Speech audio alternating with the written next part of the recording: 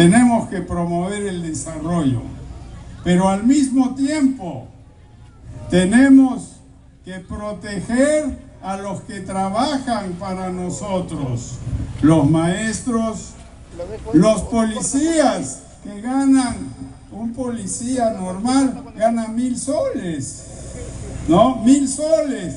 Y el último personaje que les dio un aumento, ¿quién fue? ¡Yo!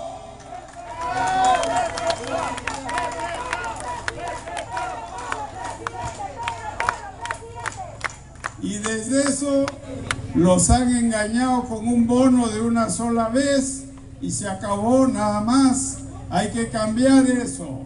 Tenemos que ayudar a los médicos, a las enfermeras. Y nada más se acabaron los contratos temporales, que la gente esté en planilla. Eso es lo que queremos.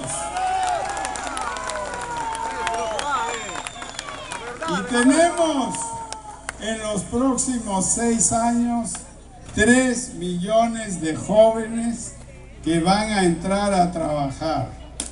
Y yo no quiero que todos sean mototaxistas, por más que quiero a los mototaxistas, porque lo que necesitamos es que tengan un buen sueldo, una buena pensión de jubilación, es salud, y necesitamos un salud mejor.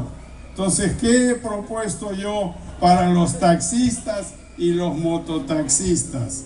Que se cree un fondo. Cada vez que le echan un poquito de gasolina al tanque o gas si están en Lima, se les quita un centavito, dos centavitos y eso va a un fondo de pensiones, un fondo de protección social porque si no, mañana chocan y se acabó la película, se quedaron sin trabajo. Necesitamos un seguro de desempleo en el Perú.